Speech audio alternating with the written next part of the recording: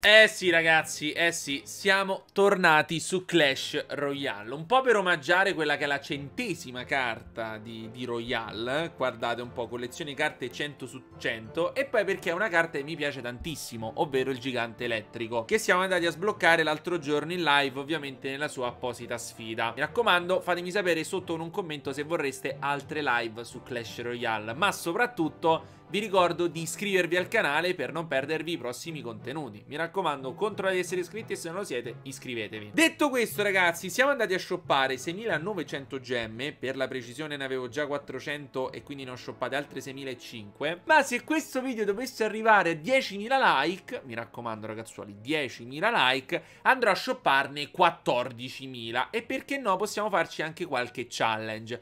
Per esempio, tipo ogni carta leggendaria che trovo, mangio qualcosa, un po' la serie che facevo su Brawl Stars, potremmo riproporla qui su Clash Royale. Fatemi sapere se vi piace l'idea o comunque, a prescindere, ci facciamo un bel chest opening da 14.000 gemme. Anche perché io questo account lo devo ancora maxare. Il mio account principale, ragazzi, lo devo ancora maxare. Abbiamo un bel po' di carte ancora da dover portare su. Qualcuna la possiamo già portare, ma non mi va di sprecare tutto l'oro. Qualcun'altra invece ci mancano proprio delle carte per poterle portare su. E tra queste, ragazzi, c'è il gigante elettrico. E perché ho deciso di fare oggi il chest opening? Perché tra le mie carte fortunate ho proprio il gigante elettrico, tra cui anche la guaritrice, che è un'altra carta che ovviamente vorrei potenziare. E proprio per questo ho deciso di farlo oggi il chest opening. Mi raccomando, ragazzi, 10.000 like, 14.000 gemme. Andiamo ad aprire aprire la prima chest. Mamma mia ragazzi, quanto mi mancava fare chest opening su Clash Royale.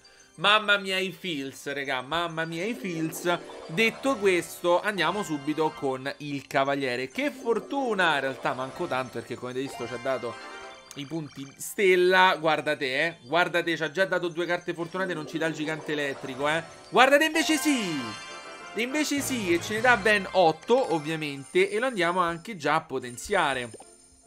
Perché è vero che ce l'abbiamo maxato, ma sarà soltanto per questa stagione. Noi adesso lo portiamo a livello 9, ragazzi. Ce l'abbiamo ancora un po' bassino perché, ok, ho fatto la missione e l'ho sbloccato. Ok, ho fatto anche la soglia finale di quella missione, ho sbloccato altre 10 carte.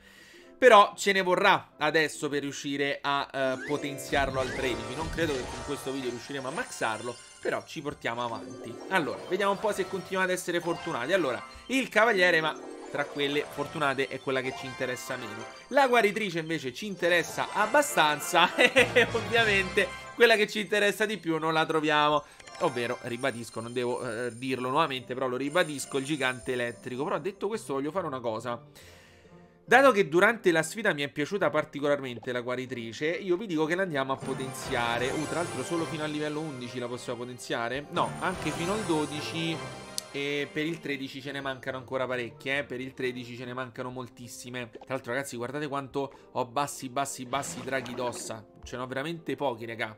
Infatti, la scorsa stagione, lo ammetto, non ho giocato quasi per niente a Clash Royale. Ho fatto qualche soglia, ma davvero poca roba. Però per conto mio vi dico, vi dico, vi dico che un bel po' ho continuato a giocare pur non facendoci video. Abbiamo 4 skip, ragazzi.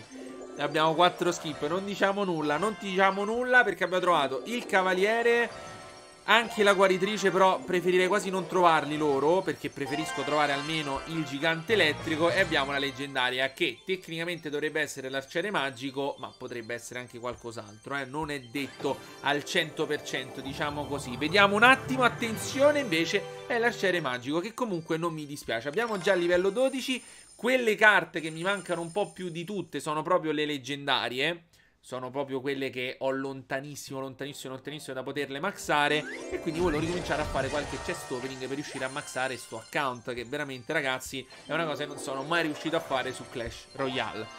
Il cavaliere lo stiamo trovando sempre, speravo fosse il gigante elettrico a trovarlo sempre. E non lo stiamo a trovare quasi mai, raga, ce l'abbiamo trovato solo due volte su quattro, mannaggia la miseria, la metà. E due volte su quattro abbiamo trovato pure l'arciere magico. Va bene, va bene, va bene. Te prego, Paolo Fortunato, non mi dà il cavaliere, ma dacci il gigante elettrico, no? Cioè, mi sembra giusta, no? Come cosa. Allora, niente, il cavaliere ce lo continua a dare.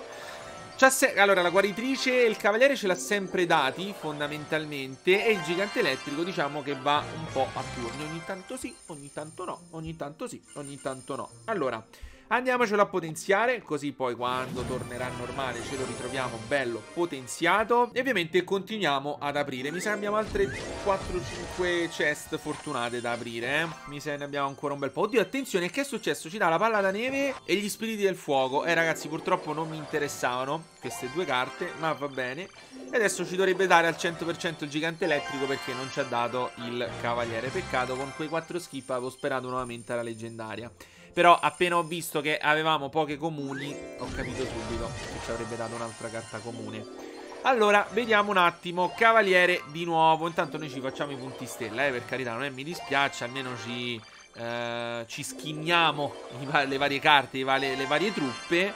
E attenzione, arriviamo a 16 su 50 per il gigante elettrico per portarlo all'11 Poi tocca portarlo al 12 e poi al 13 Ma va bene ma va bene, vediamo un attimino. Ancora ovviamente l'arciere magico. Ci stiamo facendo anche una bella scorpacciata dell'arciere magico, eh.